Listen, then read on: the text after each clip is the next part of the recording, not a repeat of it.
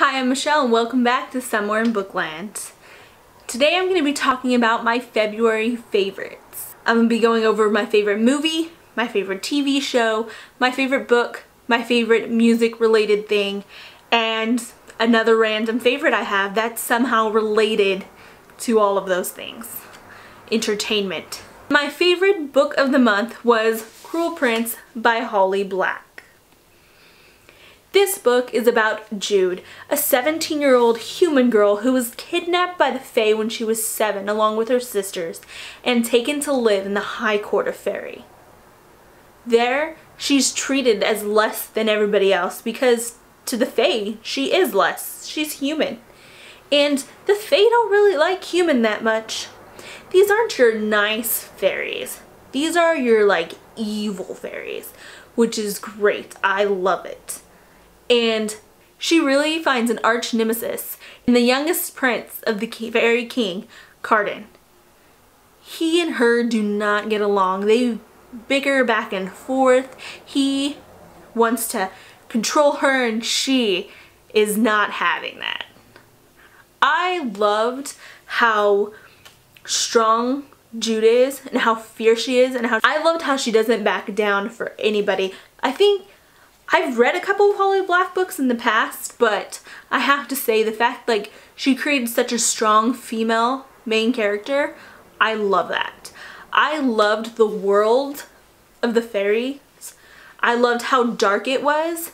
I mean, they talk about convincing humans that, you know, sand and leaves and stuff is a delicious meal and making them eat it. And I love that. I loved that the fairies were evil. Kind of like how they're supposed to be in all the fairies stories that you read from way back when. They're not nice fairies. They're mischievous. They like to pull pranks. And that's how these fairies are and I appreciate that. This book really goes into the politics of the Fae world and it's not, there's not really much of like romance in it. So if you want like a romantic story. Maybe that'll come later on in the series, but in this one, it's all about the politics of the world and how they're all like plotting for their own personal gain. And Jude finds her way through this world and she finds her place in this world. And I just I loved this book.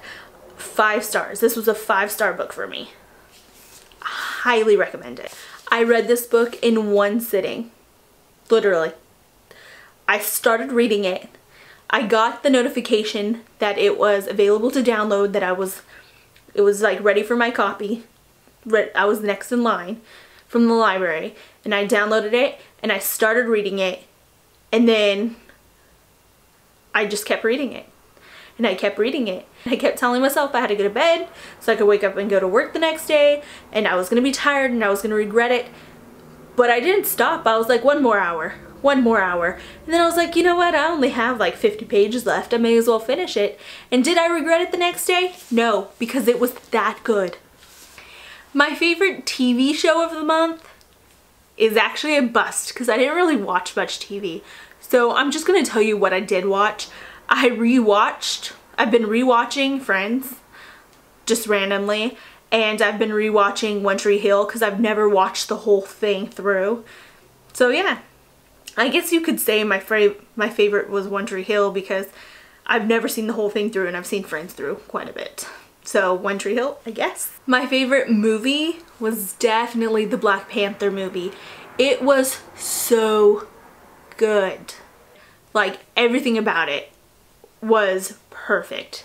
The music was on point.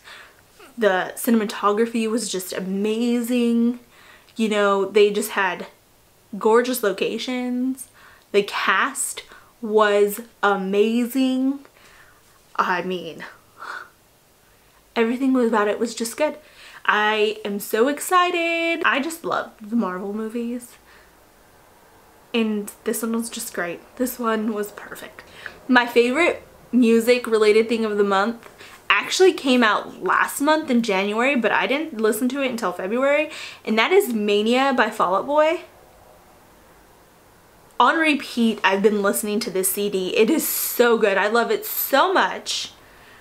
Um, obviously it's different than old Fall Out Boy, but I don't care.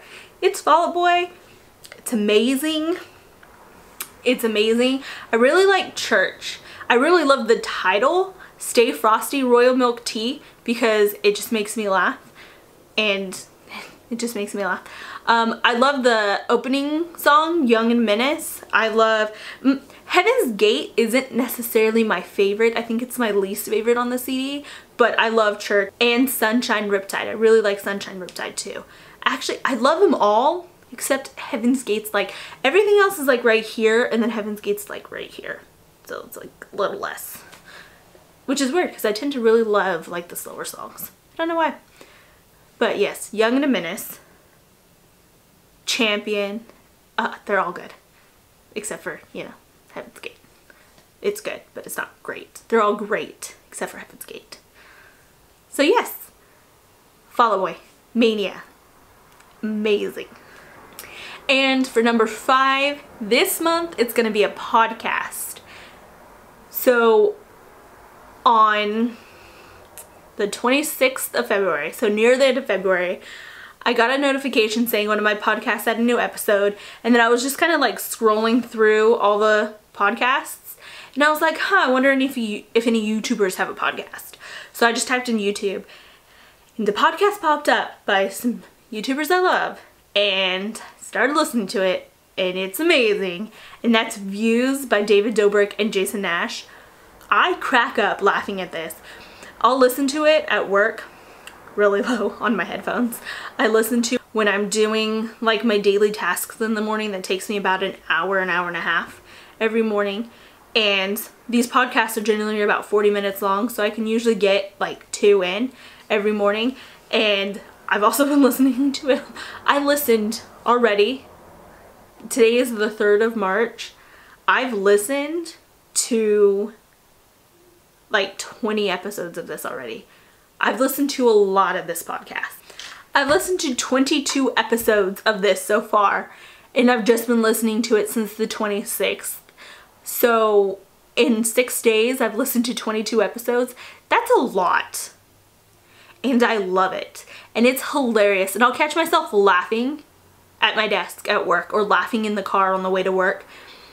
And now, before I push play, because I plug in my headphones, and I think my little, um, the little dongle I have that you plug the headphone into and then you plug it into your iPhone, I think that's going out a little bit because sometimes if I don't have it like flipped the right way, it won't go through my headphones. It'll play through the speaker.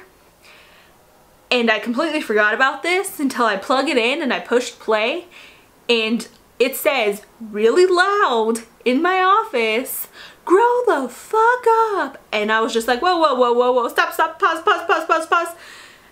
And now, before I listen to it, I make sure the volume is turned all the way down on my phone and I start playing a song from my music. And if that's playing through the headphones, then I'll play the podcast because I do not want that to happen again. Thankfully, nobody heard it because there was no one like around me. There were other people in the office, but they weren't close to me. So thankfully nobody heard it because I was like, my heart was pounding about that. I was so afraid I was gonna get in trouble. And I was like, oh my gosh, really? I'm gonna get in trouble for a stupid podcast. But yeah, that's my story with that podcast. It's hilarious. I like it. If you like David's YouTube channel, then you should really watch this they talk a lot about the skits and stuff that they do and it's funny. I like It's hilarious. They talk about some really random stuff though. Uh, but yes, those are my five February favorites. Click like if you liked this video. Click subscribe if you want to see more of this face in your feed. And I'll see you guys soon. Bye.